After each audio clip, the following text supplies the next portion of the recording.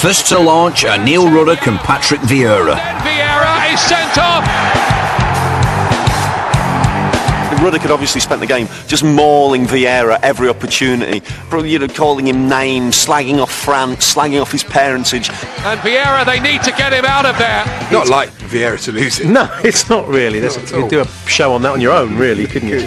Ruddock's like, "Oh, you smell garlic, smell garlic on it. Again, hits back with another bit of xenophobic insult, and we rejoice in Ruddock, the decent man.